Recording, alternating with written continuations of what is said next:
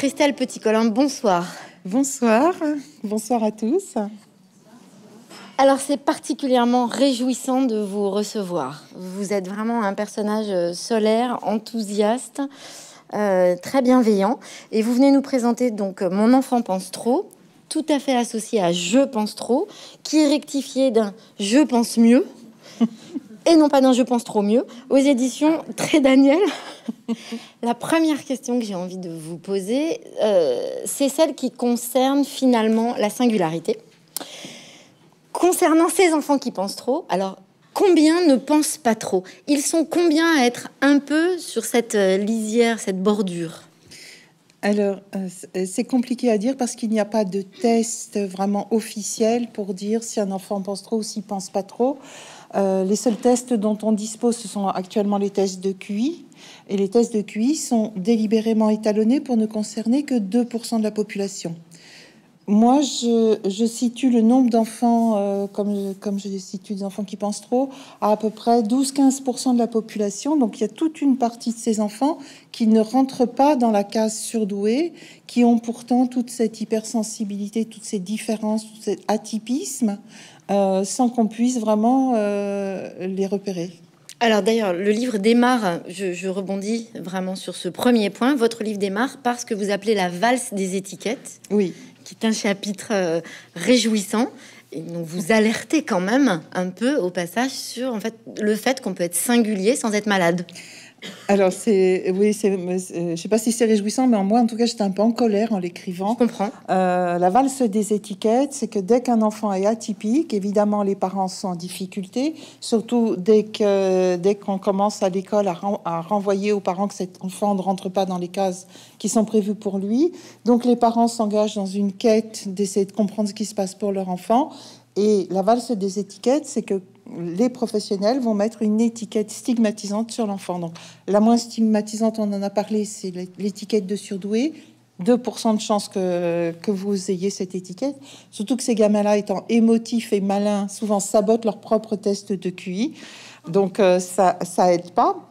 Et, après, ben, les étiquettes qu'ils vont avoir à leur disposition, la litanie des 10, dyslexique, dysorthographique, dyscalculique, 10, 10, 10, les TDAH, un trouble déficitaire de l'attention avec ou sans hyperactivité, l'autisme, que des étiquettes qui renvoient à l'enfant l'idée qu'il est dysfonctionnant et mal apprenant. Et, donc, effectivement, euh, moi, j'étais très en colère quand j'ai écrit ce chapitre parce que je trouve que c'est monstrueux de faire démarrer dans la vie un enfant en lui collant déjà une, étiquette de dysfonctionnant alors qu'il a juste un fonctionnement qui est atypique.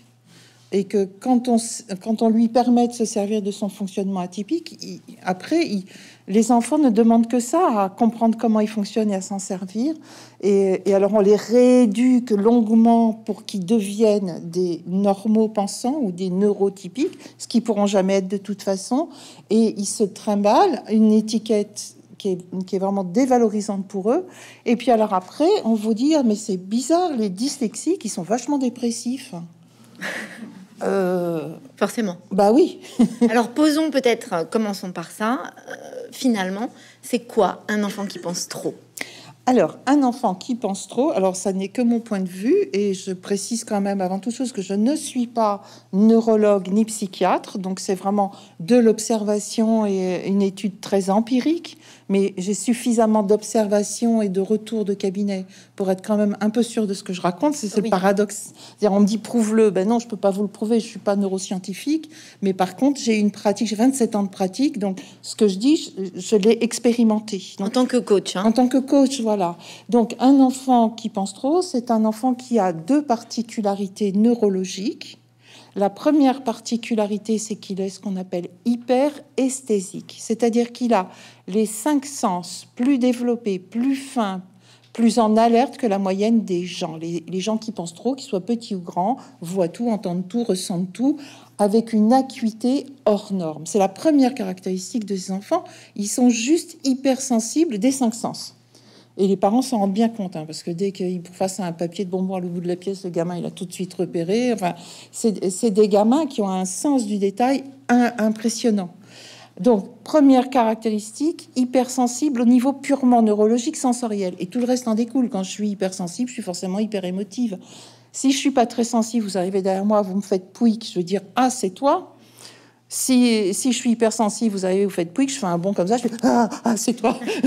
Donc évidemment que tout en découle de cette hypersensibilité sensorielle, tout en découle l'hyperémotivité, l'hypersensibilité tout court et, et, et l'hyperempathie. Ils captent tellement de choses ces gamins. Donc euh, et les parents le disent, mais oui c'est incroyable ce sens du détail, etc. Donc voilà, première caractéristique, est-ce que c'est grave d'avoir les cinq sens hyper ouverts et hyper en alerte? Normalement non, ça devrait être plutôt réjouissant. Deuxième caractéristique, ils ont une forme de pensée complexe arborescente. Et aux enfants, je leur explique de la façon suivante. La plupart des gens pensent en corde à nœuds, où chaque nœud est une idée, une idée après l'autre, après l'autre, après l'autre. Et ils ont leurs cordes de pensée bien rangées les unes à côté des autres, mais elles ne se touchent pas. Et toi, tu penses en toile d'araignée. Une idée en fait jaillir 10, en fait jaillir 10, en fait jaillir 10, et tout est connecté avec tout. C'est pour ça que tu penses pas comme tes copains et que toi tu peux bondir d'une idée à l'autre et que eux des fois ils peuvent pas parce que c'est pas sur la même corde à nœud. Une fois qu'on a expliqué ça à un petit enfant, mais 7 ans, hein, eh ben, il est tout content, il a compris, et puis il dit ah ouais, je vois bien comment mes copains, etc. Puis il est tout fier de dire ouais, ben tu vois, moi ça, je, ça l'autre jour je l'ai entendu, puis personne d'autre l'avait entendu que moi. Donc après, quand il a compris ces deux caractéristiques-là, il s'en accommode, et puis il en fait usage. Là, vous êtes un personnage de réjouissant, je le disais en démarrant cette interview, c'est que gentil. vous défendez vraiment cette singularité en disant non pas oh là là, il faut faire attention, il faut accompagner, il faut surveiller. Vous vous dites mais c'est merveilleux, apprenez à vous en servir. Ben oui. C'est euh, comme si on me disait oh là là, c'est affreux, tu as une Ferrari. Mon Dieu, mon Dieu, mais tu vas te tuer avec. Ben non, tu apprends à la conduire hein, et, et après ça va tout seul. Parce que c'est une Ferrari. Ah ouais ce cerveau-là, le cerveau complexe arborescent, c'est une Ferrari. Il part dans tous les sens, il, il, fait des connexions, il connecte plein de choses. Bien sûr que c'est une Ferrari, un cerveau comme ça. Mais imaginez une Ferrari euh, dont n'a pas la maîtrise sur une départementale. C'est sûr qu'on va aller dans, dans, le décor. Donc il faut la piloter, il faut, puis il faut sortir des départementales aussi. Comment on la pilote? Comment on la pilote? Alors, pour les adultes, c'est plus compliqué parce qu'il faut vraiment qu'ils fassent tout un travail d'apprendre à se regarder penser.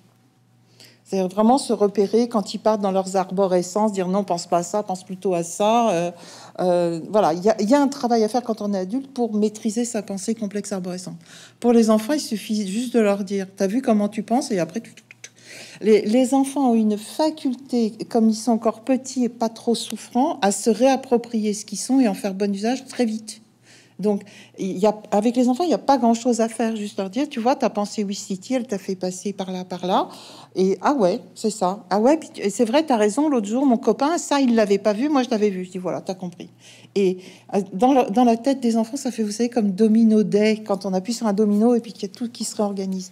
Donc, les enfants, on leur donne deux, trois informations et aussitôt, ils se réorganisent et ils en font bon usage.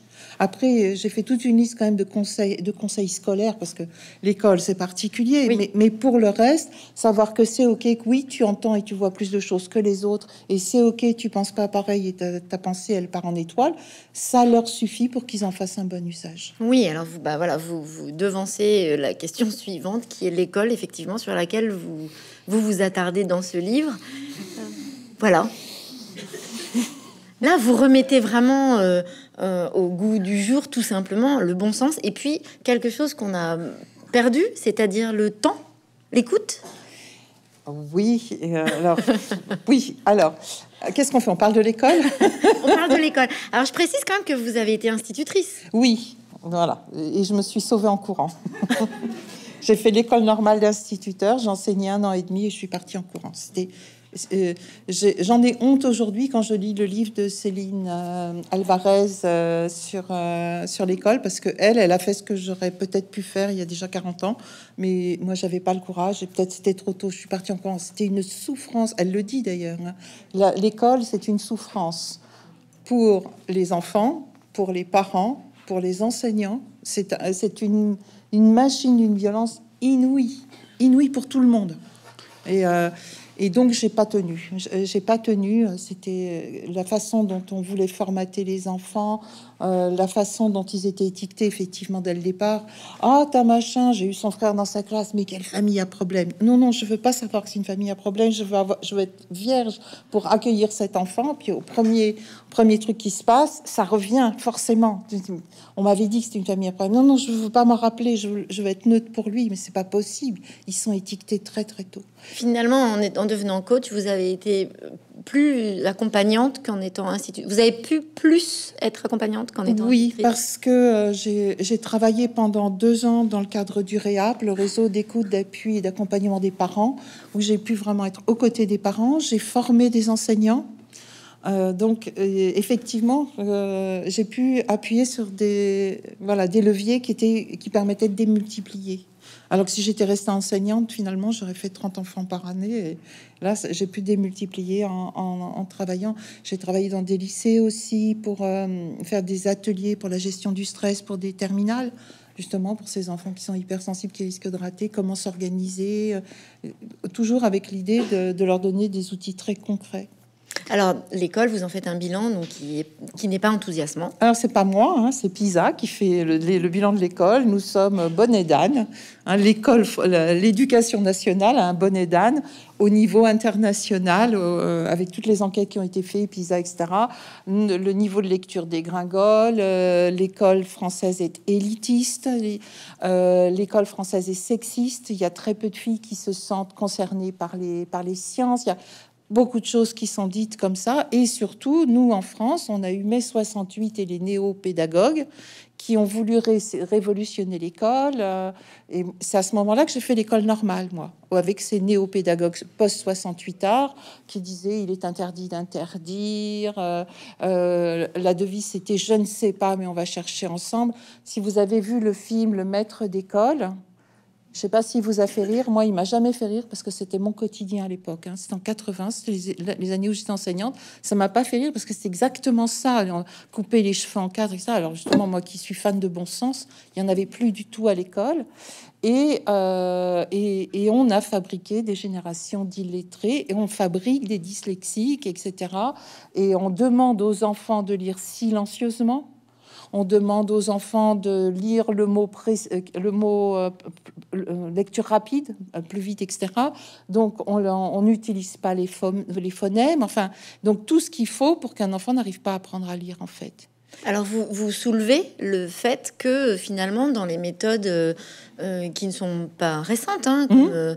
euh, Montessori, Freinet, il y a quand même beaucoup de bons à prendre sur le principe du respect, de l'empathie, de l'expérience par le jeu qui, sont en fait euh, des, des valeurs qui n'existent pas dans l'école aujourd'hui en France. Voilà. alors, surtout pour nos petits pense trop, puisqu'on va revenir à eux, c'est la préoccupation.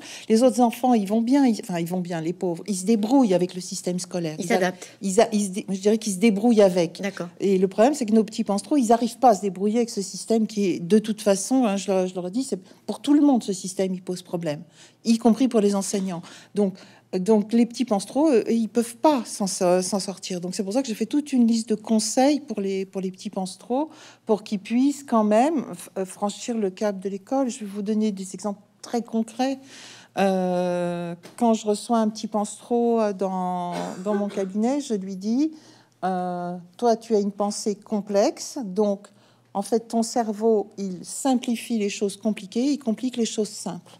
Donc à l'école, quand tu n'as pas compris, c'est que tu as compliqué quelque chose de simple. C'est comme si l'école, elle était au rez-de-chaussée et que ton cerveau était au troisième étage. Quand on te pose une question et que tu comprends pas, qu'est-ce que tu fais? Tu te au cinquième étage. Alors du coup, ça te paraît super compliqué et puis tu te dis que tu y arriveras jamais. Alors qu'en fait, dès que tu n'as pas compris, il faut que tu te rappelles que c'est ton cerveau qui a compliqué quelque chose de simple. Redescends au rez-de-chaussée. Pose-toi la question si c'était tout bête, si c'était du niveau école maternelle. Alors après, en fonction si c'est un sixième, je dis euh, si c'était du niveau CE2. Voilà, on se débrouille. Voilà, euh, si c'était tout bête, si tu devais expliquer à ton petit frère, ce serait quoi? Et souvent, je les, les, je les ai comme ça, les gamins. Je leur dis d'ailleurs, si tu te rappelles bien, à chaque fois que tu n'as pas compris, quand tu as donné la réponse, ta première pensée, ça a été Oh, c'était que ça. Et il y a même font oui. voilà, donc leur apprendre à revenir aux évidences, à ne pas compliquer les choses trop, les, choses euh, qui euh, comme ils en ont l'habitude, parce qu'en plus, comme ils s'ennuient, ils compliquent pour retarder le moment de trouver au début. C'est-à-dire 1 plus 1, ça fait 2, c'est trop facile, c'est trop rapide, ils s'ennuient à mourir. Alors, ils rajoutent 10, ils retirent 5 pour aller... hein, et puis, ils finissent par dire 2, mais ils ont fait une promenade entre les deux intellectuels pour s'occuper l'esprit, euh, puisque c'était trop simple. Et donc, ils gardent l'habitude de compliquer comme ça. Donc, voilà, un truc tout bête, revient aux évidences, juste jusqu'à, on va dire, ouais, jusqu'à l'université, vous pourrez leur seriner, reviens aux évidences, si c'était tout simple, si c'était tout bête, si tu devais expliquer à ton petit voisin qui n'y connaît rien, reviens aux évidences. Vous parlez de l'ennui. Oui, Vous en parlez beaucoup dans votre livre. oui. Vraiment, c'est une émotion euh, qui, qui intervient beaucoup pour les petits penstros. Alors moi, j'ai j'ai fait un atelier pour des enfants étiquetés hyperactifs en Suisse. J'avais 10 enfants avec moi. Les 10 enfants m'ont dit, en classe, je m'ennuie à hurler. Je m'ennuie à hurler. Je me force à m'endormir pour pas hurler. Et la petite Camille m'a dit, ben moi, ma maîtresse, elle veut bien que j'aille hurler dans le couloir. Alors des fois, je vais pousser des grands cris dans le couloir. Et l'instit qui m'avait fait venir m'a confirmé que des fois, elle voyait Camille dans le couloir en train de hurler. Et donc, les enfants s'ennuient à hurler en classe. Alors après, on, on leur dit qu'ils sont hyperactifs, mais Alors, l'exemple que je donne dans mon livre, que j'ai donné aussi à mon éditeur, je lui ai dit... euh, est-ce que, est que vous avez déjà vécu une réunion de copropriété?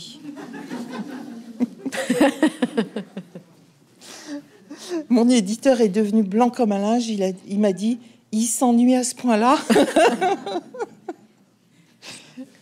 Je lui ai dit, non seulement il s'ennuie à ce point-là, mais nous, les réunions de copropriété, c'est une fois par an.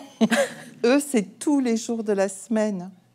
Ils s'ennuient à ce point-là tous les jours de la semaine. Donc effectivement, hein, vous êtes d'accord, on y a de quoi hurler si on s'ennuie en classe comme dans une réunion de copropriété. Donc, on arrive à la phobie scolaire. On arrive à la phobie scolaire, euh, qui est effectivement, euh, il faut réaliser la torture qu'on leur impose. Bon, ça, la torture d'être assis à attendre que les autres aient compris et qu'on avance, hein, exactement comme dans la réunion de copropriété.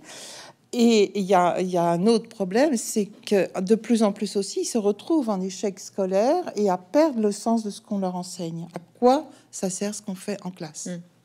et, euh, et, et donc, ils sont, ils sont en perdition. Arrive aussi très tôt, malheureusement, le harcèlement scolaire. 10% des élèves sont harcelés. Devinez lesquels c'est Bah, C'est les petits pensereaux, forcément. Alors, dans ma pratique de coach, les pensereaux adultes que j'ai eus dans mon bureau, tous les pensereaux adultes que j'ai eus dans mon bureau, je les appelle les pensereaux parce que c'est à l'île de la Réunion, euh, c'est à l'île Maurice qui se sont appelés comme ça. T'as un pensereau, toi? Oui, moi aussi, je suis un pensereau. Je trouvais que c'est tellement mignon. Donc, pour ça que depuis tout à l'heure, je dis les pensereaux, les pensereaux. Mais en fait, voilà, c'est un, un petit coucou aux Mauriciens qui. Donc, quand je reçois dans mon cabinet des pensereaux adultes, euh, j'ai eu 100% des pensereaux adultes qui se sont fait harceler à l'école. Donc, donc, je pense que la phobie scolaire, c'est aussi ça, cette incapacité qu'ont les neurotypiques à accepter la différence et cette fragilité qu'on croit percevoir chez ces enfants, euh, qui n'est une fragilité. Alors, c'est vraiment important que tout le monde l'entende. C'est une fragilité que nous créons chez eux en ne les acceptant pas comme ils sont. C'est ça qui est monstrueux. C'est que nous créons la fragilité en ne les acceptant pas comme ils sont. Et une fois qu'ils ont été fragilisés par notre non-acceptation, on dit Ah, mais c'est parce qu'ils sont fragiles qu'ils supportent pas le harcèlement. C'est- euh, à hurler, ça aussi. C'est à hurler. Euh, imaginez que vous naissez avec les yeux bleus. Personne ne vous dit que vous avez les yeux bleus, mais tout le monde critique votre regard. Tu regardes trop, tu regardes pas assez, tu- ton regard est trop froid, il est trop chaud, il est trop insistant. Et en permanence, on critique votre regard. Et vous, vous êtes de bonne volonté, vous changer votre regard, et rien n'y fait. Quoi que vous fassiez, c'est jamais le bon regard. Il y a de quoi se décourager. Et c'est l'exemple, il est, valide parce que c'est neurologique. On fait pas exprès d'avoir les yeux bleus, on fait pas exprès d'être hyper, euh, hypersensible et d'avoir la pensée complexe arborescente. Et donc, depuis qu'ils sont petits, on leur dit tu n'es pas adéquat. On les fragilise bien, donc ils se créent un self, ils se suradaptent. Après, on leur dit oui, mais il est trop gentil avec tout le monde. Bah oui, mais c'est pas agréable d'être rejeté non plus. Et, on crée chez eux des failles, des, des faiblesses Et puis après, on leur dit, ah, mais voilà, il se fait harceler parce que faut dire, il est trop gentil, il s'adapte trop aux autres, il a qu'à s'adapter. Alors qu'on l'a poussé à s'adapter. Et, qu'on l'a surtout poussé à ne pas s'accepter lui-même. Hmm. Parce que les, manipulateurs, petits, petits et grands, s'engouffrent dans nos failles narcissiques. S'il y a un décalage entre ce que je suis et ce que je prétends être, c'est là qu'ils vont s'engouffrer. Par exemple, je me sais être atypique et puis je, fais tout pour être normal. Ben, le manipulateur, il le repère tout de suite. Donc il va arriver, il va me dire Oh, Christelle, mais qu'est-ce que t'es normal? Formidable ce que t'es normal. Moi, je suis rassurée, tous mes efforts pour être normal sont validés. Puis une fois qu'il est dans la place et que je lui fais confiance, il me dit Ouais, mais en fait, t'es un peu bizarre quand même. Et vous voyez, il va venir agrandir cette faille entre mes prétentions affichées et ce que je suis vraiment. Ces pauvres petits gamins, ils passent leur temps à essayer de s'adapter et il y a une faille chez eux qui est juste la méconnaissance de qui ils sont. Pourquoi les trop, les, les penses trop sont si vulnérables Et ce qui est très intéressant dans vos écrits, dans les livres que vous avez écrits, c'est que vous avez commencé d'abord par les manipulateurs. Mm. Alors, comment s'est déroulée cette pensée finalement pour parler de la vulnérabilité? Alors, moi, à la base, euh, je suis conseil en communication. Donc, les gens viennent me voir quand ils ont des problèmes de communication dans le travail ou dans la famille. Ça a commencé comme ça. Il y a 27 ans, quand j'ai ouvert mon cabinet, j'étais formatrice et conseil en communication. On va améliorer la communication. Et c'est à ce moment-là, en travaillant avec les gens, que je me suis rendu compte que si vous avez affaire à quelqu'un de bonne volonté, restaurer la communication, c'est les doigts dans le nez. Ça se fait tout seul, même si vous avez quelqu'un qui a un sale caractère, etc. Du moment qu'il est de bonne volonté, ça va tout seul. Et donc, on se retrouve à un moment donné avec juste une frange de la population avec qui aucun outil de communication ne marche. Mais ça, ça devenir fou. Aucun des outils ne marche parce que la personne ment, parce qu'elle est de mauvaise foi, parce qu'elle se contredit, parce qu'elle a deux visages, parce qu'elle est lunatique. Et en écoutant les gens parler, je me suis dit, mais ils me parlent tous de la même personne. Parce qu'un manipulateur ou une manipulatrice, c'est quelqu'un d'invraisemblablement standard. Vous me racontez ça, je vous raconte la suite. Moi, il n'y a pas de problème. On m'appelle Madame Irma dans ma, clientèle. Et donc, quand j'ai écrit le livre Échapper au manipulateur, j'ai écrit le portrait robot du manipulateur. Et les gens m'ont dit, j'avais commencé votre livre avec un stabilo, puis j'ai arrêté parce que le livre devenait fluo. Ma parole, vous êtes l'ex de mon mari. Et après, la deuxième étape, c'était divorcer. Et alors, alors, bah oui, j'ai beaucoup écrit sur le divorcer, euh, oui, comment, euh, voilà, comment sauver sa peau. Mais surtout, c'est à ce moment-là que je me suis rendu compte que les manipulateurs avaient des proies de prédilection qui étaient justement les gens qui pensent trop, des gens plus intelligent que la moyenne. Je suis désolée de vous le dire, ça, je sais que ça vous énerve, vous voulez pas admettre que vous êtes intelligent, mais les gens qui pensent trop sont plus intelligents que la moyenne, sont bienveillants, sont euh, très organisés, bourrés d'énergie, sont hyper gentils et au miracle ne voient pas la malveillance. Hein Quelle aubaine pour un manipulateur. Donc, effectivement, après m'être intéressée aux manipulateurs, je me suis intéressée à leurs victimes. Parce qu'au départ, j'étais comme tout le monde, je croyais qu'une victime de manipulateur, c'était quelqu'un de bête, de naïf et de faible. Et effectivement, quand les gens arrivent dans mon bureau, ils sont pas en bon état. Quand ils, sortent en fin de manipulation mentale, on est très affaibli, on a la cervelle qui part dans tous les sens, on est en surstress, etc. Mais dès qu'on avait coupé le lien avec le manipulateur, moi je voyais les gens renaître de leurs cendres, et je me disais, mais c'est des gens vachement sympas, intelligents, drôles, créatifs. Mais c'est pas du tout ce qu'on m'a dit des, des, victimes de manipulateurs. Je découvrais que les, proies des manipulateurs, en fait, bah, c'est les pense trop, les fameux gens qui ont un cerveau droit plus développé. Alors effectivement, ils sont humanistes, ils sont hypersensibles, ils sont hyper gentils, mais ils sont pas idiots. Ils sont pas idiots du tout. Donc là, on divorce, hein, et du coup, après, on arrive à bon, c'est pas tout ça, mais quand même, on pense trop. Voilà. Alors, moi, en fait, j'ai navigué entre les deux sujets pendant plusieurs années.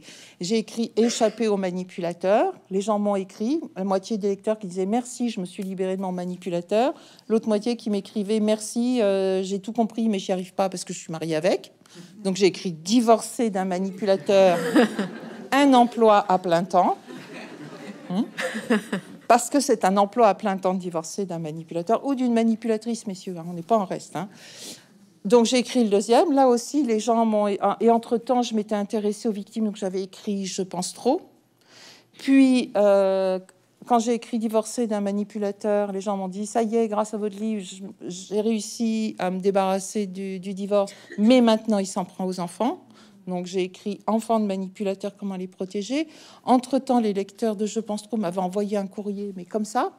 Donc j'ai écrit Je pense mieux, qui est la réponse à cet abondant courrier. Et vous voyez, j'ai navigué d'un sujet à l'autre comme ça pendant un moment.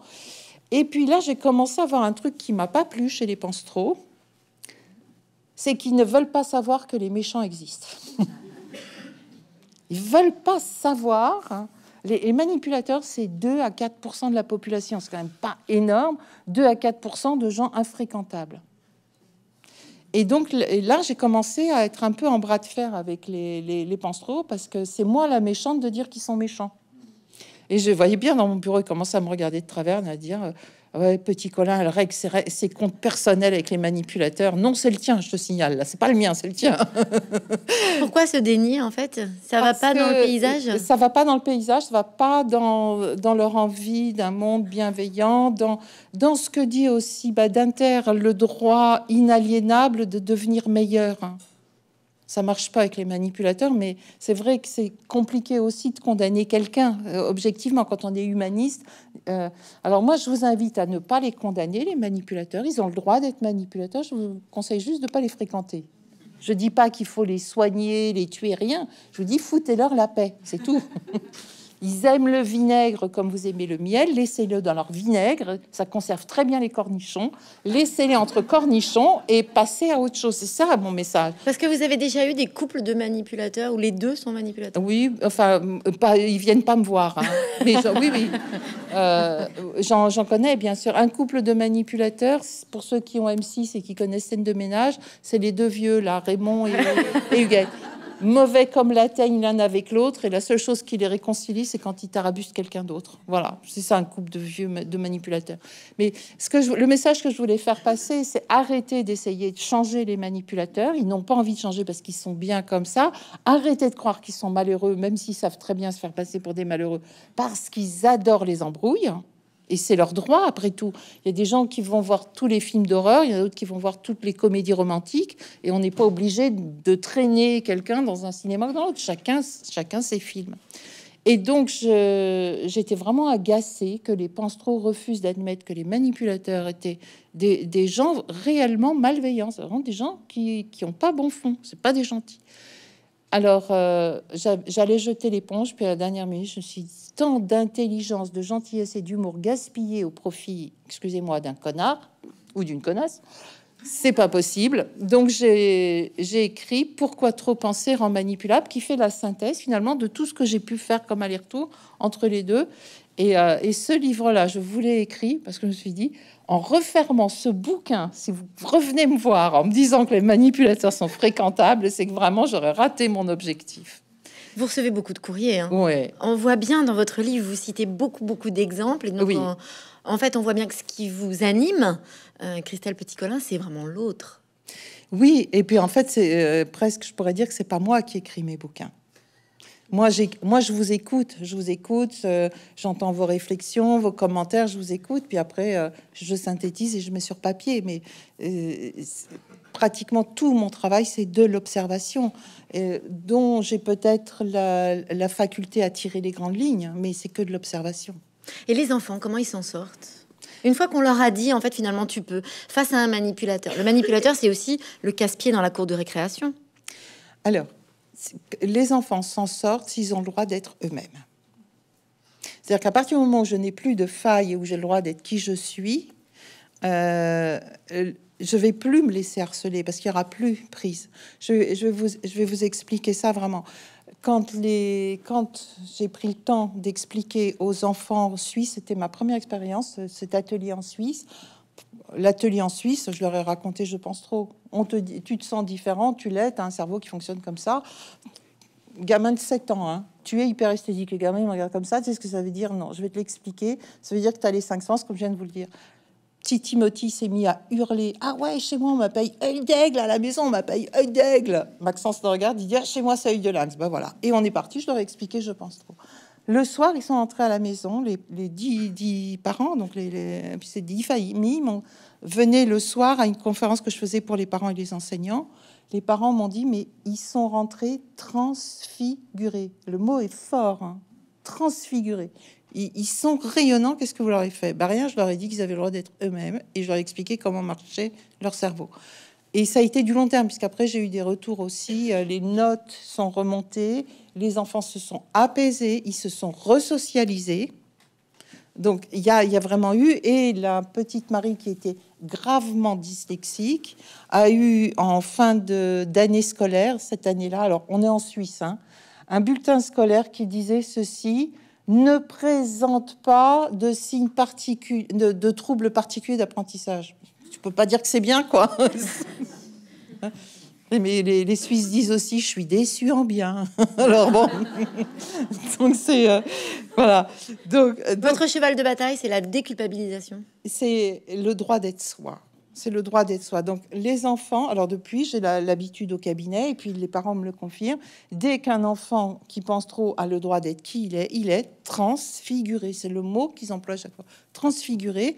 Et donc à partir du moment où il a le droit d'être lui, d'abord il s'adapte beaucoup mieux. Hein, les enfants se sont resocialisés après l'atelier. Et puis du coup, comme il a plus à, à cacher qui il est, il est cache. Donc une jeune fille m'a raconté ça, une petite jeune fille qui était en cinquième elle est allée au collège avec un pantalon fluo. Un de ses camarades de classe, évidemment, se moque de son pantalon fluo, le pantalon, etc. Et elle lui a répondu du tac au tac, parce que c'est des enfants qui ont beaucoup de réparties. Elle lui a dit, bah, je l'ai mis pour que tu me remarques, et tu vois, ça marchait. voilà. Quand j'ai plus de failles narcissiques, il n'y a plus de problème. Euh, alors, il y a une de mes consoeurs qui prétend outiller les enfants, leur donner le sens de la répartie, etc. Mais si à l'intérieur de lui, l'enfant, il s'accepte pas, il n'aura pas de répartie. La répartie, elle monte du fait que je suis euh, unie, entière, euh, consistante. Sinon, ça ça marche pas. Donc, alors après, la gamine, elle m'a dit bon, je l'ai parmi, je l'ai je l'ai parmi au collège le pantalon. Mais sur le moment, l'autre, ça lui a cloué le bec. Voilà. Donc, comment on lutte contre le harcèlement scolaire? Du côté des enfants qui posteront, on leur donne le droit d'être eux, et après, ils feront le, ils feront le boulot. Mais il faudrait aussi, et là, moi, je vous, j'en appelle à tous. Euh, les manipulateurs commencent leur carrière en grande section de maternelle.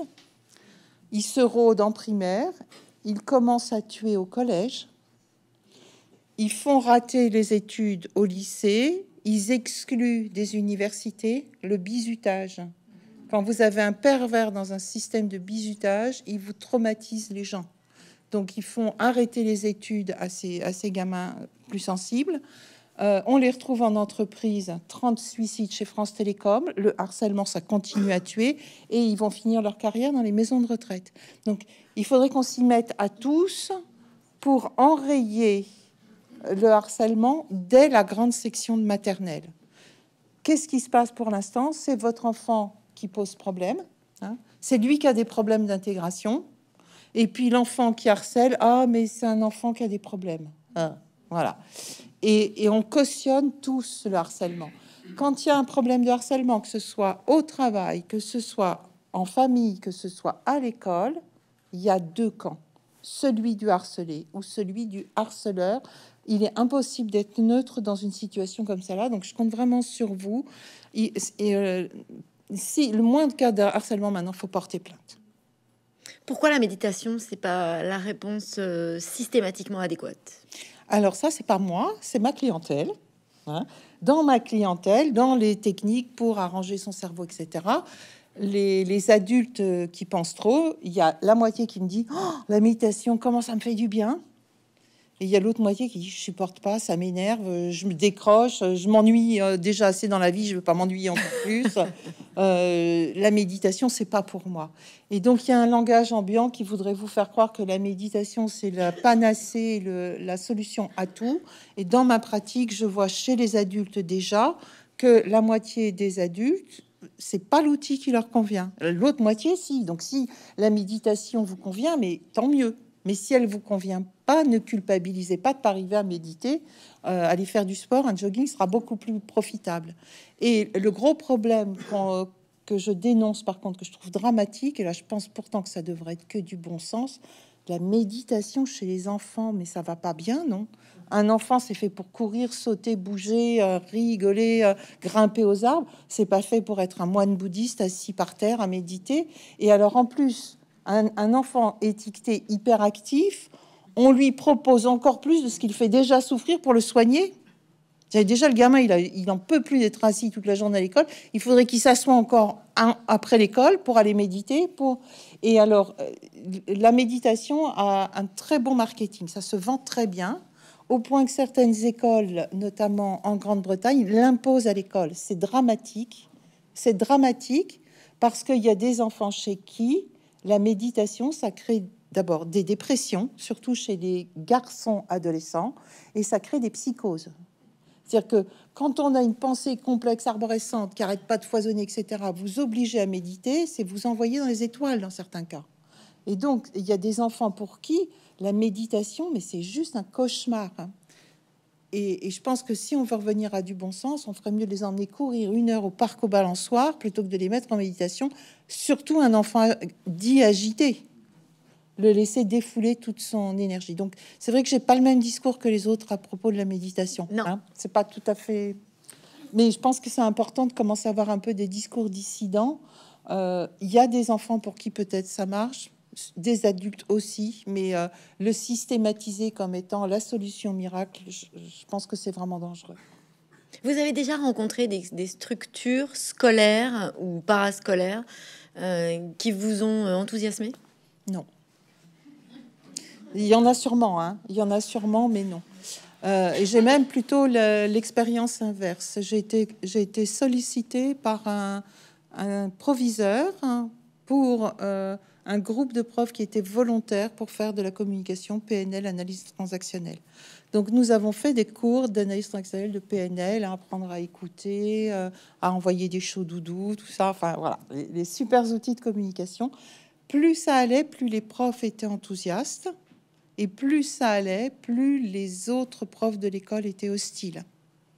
Et ils se sont retrouvés outillés et marginalisés. Euh, et ils ont commencé à se faire harceler par les autres profs. Ouais, de toute façon, tu te crois meilleur que les autres parce que toi, disant, tu as fait de la communication, etc. Et donc, cette, cette poignée de profs qui étaient volontaires s'est fait isoler et quand le proviseur est parti à la retraite, ils ont vécu un enfer avec le nouveau proviseur. Ils étaient les dingues de l'école, quoi.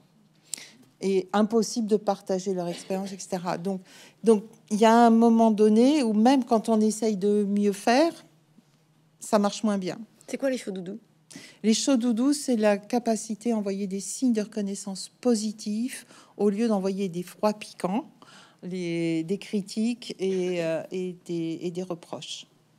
Donc, si vous avez des enfants, je vous recommande ce livre. Ça s'appelle Le conte chaud et doux des chauds doudous. Vous le trouverez sûrement chez moi là sans problème. Le conte chaud et doux des chauds doudous, c'est écrit par Claude Steiner, qui est le numéro 2 en analyse transactionnelle, enfin qui était, puisqu'il est décédé il y a trois ans. Euh, Claude Steiner, vraiment un grand monsieur de l'analyse transactionnelle, qui explique aux enfants les chauds doudous, les froids piquants. Les froids piquants, c'est tout ce qui pique, tout ce qui est désagréable, les critiques, etc. Les chauds doudous, c'est tout ce qui est encouragement, compliment. Euh, et paroles douces. Euh, au travers de vos livres, en général, quand même, revient beaucoup, beaucoup la question du temps passé euh, avec ses enfants, mais aussi les uns avec les autres. Donc, je le disais tout à l'heure, de l'écoute euh, et donc de l'entente avec un grand E. Donc, quid aujourd'hui de la question du temps? Alors, ce serait le problème majeur? Non, parce que vous pouvez passer trois heures avec vos enfants en ayant le nez sur votre tablette. Euh, vous pouvez passer une journée entière avec vos enfants en disant chut tais-toi j'écoute les informations. Vous pouvez passer euh, une semaine avec vos enfants en disant allez va va faire tes activités je vais faire les miens etc aujourd'hui ce qui compte c'est la qualité de l'écoute plus que la qualité de la communication plus que la quantité. Je pense qu'il vaut mieux passer 10 minutes à réellement écouter son enfant que deux heures à lui dire hum, hum en jouant sur sa tablette. Donc c'est plus, euh, euh, c'est valide dans les couples aussi. Hein. voilà, prendre vraiment du temps pour être réellement là et disponible. Il vaut mieux l'être pas souvent, mais réellement, plutôt que de faire semblant d'être là sans être là. Hein, messieurs, votre femme vous l'a dit 100 fois, tu m'écoutes pas. et, vous, Christelle Petit-Colin, quelle petite fille étiez-vous à l'école? Ah, alors moi, c'est un petit peu différent. j'étais, je l'ai en russe, Bookvayed. J'étais une dévoreuse de livres. Euh, je crois que j'ai dû savoir lire très tôt et j'ai adoré lire. Je me souviens avoir lu Montaigne à l'âge de 10 ans. Je crois que j'ai rien compris, mais la musique du, vieux français me ravissait complètement. Et donc j'étais une grande, grande lectrice. Je crois que au collège, je connaissais toute l'œuvre de Marcel Pagnol par cœur, tellement j'adorais ce ton, la Provence et tout ça. Et, euh, et l'école, bon, alors je suis petite fille d'instituteur, fille d'instituteur, et j'ai été institutrice moi-même. Donc pour moi, l'école, c'était quelque chose d'extrêmement valorisé. Donc, euh, j'ai encore des cartes d'anniversaire de mon grand-père avec l'encre violette, les pleins, les déliés, euh, l'écriture, mais incroyablement parfaite du grand-père. Pendant longtemps, j'ai eu aussi une calligraphie assez, euh, assez élaborée. Là, maintenant, c'est plus ça. Hein. voilà, donc j'investissais beaucoup l'école pour ça. Mais j'ai découvert en quatrième que mes camarades m'appelaient Petit Larousse au lieu de m'appeler Petit Colin parce qu'ils comprenaient rien à ce que je disais. mais j'avais trop de vocabulaire, comprenait rien à ce que je disais, il m'appelait Petit Larousse. Donc vous avez été dans cette, dans cette position, vous, à un moment donné, être un peu isolé? Euh, Non, très peu, parce qu'après, les, les garçons se sont intéressés à autre chose. Donc euh, non, j'ai pas, j'ai pas eu le temps d'être isolée. Qu'est-ce que vous aimez le plus dans ce que vous faites et dans ce que vous écrivez, Christelle Petit-Colin, aujourd'hui? Alors, ça c'est une drôle de question. Qu'est-ce que j'aime le plus dans ce que je fais aujourd'hui? Euh, J'adore écrire. C'est le moment où l'écriture, c'est quasiment une transe. C'est-à-dire qu'on ne sait jamais trop, on se met devant son clavier, on a des trucs à dire, etc. Puis d'un coup, ça sort. Euh, j'ai râlé, pesté pendant 3, 4 jours, 10 jours, à tourner en rond, à procrastiner, etc. Puis à un moment donné, il faut y aller, ça sort. Et, euh, là, je, vois mes mains qui volent sur le clavier. Ça sort, ça sort, je sais pas d'où. Et je ris toute seule. Je ris toute seule de ce que je suis en train d'écrire, donc je sais pas d'où c'est arrivé. euh, le, processus créatif est vraiment quelque chose de très particulier. Euh, et quand je relis mes livres quelques temps plus tard, je dis c'est moi qui ai écrit ça. Je, devais vraiment être en transe au moment que j'ai écrit. L'écriture, c'est vraiment le truc le plus fabuleux. Et puis le deuxième truc le plus fabuleux, c'est les rencontres euh, avec mes lecteurs, parce que j'ai les meilleurs lecteurs de la Terre. franchement, j'ai été maligne, j'ai écrit pour les gens les plus adorables. les Panstros sont des gens mais tellement gentils, tellement chaleureux, tellement nourrissants. Euh, que, que c'est un vrai bonheur d'avoir écrit pour eux et d'avoir leur retour. La première fois qu'on m'a dit votre livre m'a sauvé la vie, j'ai dit waouh, il va un peu fort. La deuxième fois on m'a dit votre livre m'a sauvé la vie, j'ai dit ah bah quand même. Mais maintenant ça fait quand même des années et des années que régulièrement, mais je vous jure, votre livre m'a sauvé la vie, que ce soit sur les manipulateurs ou les pense trop. Alors à un moment donné, on se dit bah ça valait vraiment le coup d'écrire, de passer des heures au clavier. Quand je suis au clavier, je peux tout oublier pendant 10, 10 heures d'affilée. Je, me mets à mon clavier, je pas genre 8 heures du matin, je regarde ma montre, il est 18 heures, je sais pas ce que j'ai fait, euh, enfin si j'ai écrit, mais j'ai pas vu la journée passer du tout. Donc ça valait le coup de mettre tout ça par écrit pour que ce soit consigné et pour que les gens puissent après l'utiliser pour leur confort personnel. Euh, j'ai du mal encore à réaliser, les gens me disent, vous m'avez sauvé la vie. Et, et je dis, mais pourquoi? Et puis en fait, si. Euh, c'est vrai que c'est en fait mes livres parlent de vachement de souffrance. Est-ce que vous avez l'impression finalement d'effectuer un travail collaboratif où vous récupérez beaucoup de choses que vous passez aux autres? Oui, oui. Alors ça complètement. Moi, si, si je devais résumer mon métier, c'est passerelle. Je suis une passerelle. Je, je fais passer l'information d'un côté et de l'autre. Euh, ouais, absolument. Des fois un peu éclaireur Vous savez, ce que j'écris, en général, je l'ai expérimenté juste avant. Hein. Je fais passer derrière au fur et à mesure que je récupère. Un peu éclaireur, un peu passerelle, ouais. Qui vous soutient aujourd'hui? Plutôt les médecins, plutôt les enseignants? Les enseignants, pas trop, non. et puis alors, en plus, ce qui, ce qui me frustre, c'est que euh, euh, il semblerait que mon livre Mon enfant pense trop les ait blessés, alors qu'il n'y a pas de raison, au contraire je voulais leur donner à eux aussi des outils et pas du tout. Euh, j'ai été un, un stitch et euh, euh, je, sais à quel point leur métier est difficile. Ils mériteraient une médaille et une grosse augmentation de salaire. C'est monstrueux de les faire travailler dans les conditions où ils sont. Donc les enseignants, pas trop malheureusement. Mais bon, Céline Alvarez s'en occupe, donc tout va bien. et par contre, les médecins. Les médecins. Alors, oui, euh, les, thérapeutes sont de plus en plus prescripteurs de, mes livres. C'est quelque chose d'assez étonnant. Euh, voilà, j'ai lu votre livre sur les conseils de mon thérapeute, de mon médecin traitant. Et alors, pour la petite histoire, une de mes clientes était dans un hôpital psychiatrique euh, et c'était son mari qui était venu me voir en disant elle a été gravement harcelée dans son travail, les médecins comprennent pas, etc. Elle était en, surstress, cette pauvre femme. Donc, elle a lu votre livre Échapper au manipulateur. On a retrouvé son chef, on a retrouvé ce qui lui est arrivé, etc. Et j'ai dit bah, donnez-lui à lire, je pense trop, ça va lui faire du bien. Et ben dans l'hôpital psychiatrique, tous les tous les fous l'accrochaient en disant fais voir ton livre, fais voir ton livre. Et je passais à la radio euh, euh, quelques jours plus tard, et quand le psychiatre de, cette patiente est rentré dans sa chambre, il y avait une bonne partie, une quinzaine de fous dans la chambre, assis par terre à m'écouter. Euh, du coup, alors c'est là où on voit que des fois les médecins sont vraiment très ouverts. Il m'a invité à déjeuner et on a collaboré jusqu'à sa retraite. Des fois, c'est chouette. On se dit, il n'y a pas. Parce qu'il y a un autre hôpital psychiatrique où je me suis fait virer par les psychiatres parce que j'avais formé les infirmiers. C'était euh, exactement comme le, euh, comme le, lycée où j'avais travaillé. Euh, les infirmiers ont commencé à ruer dans les brancards. Les psychiatres ont dit au directeur de l'hôpital, ça là, on veut plus la voir. Dehors. Sur quoi vous travaillez maintenant? Alors, je suis en train de travailler sur un livre qui va s'intituler, j'ai pas encore le titre exact, mais en gros, comprendre les codes normaux pensants quand on les a pas.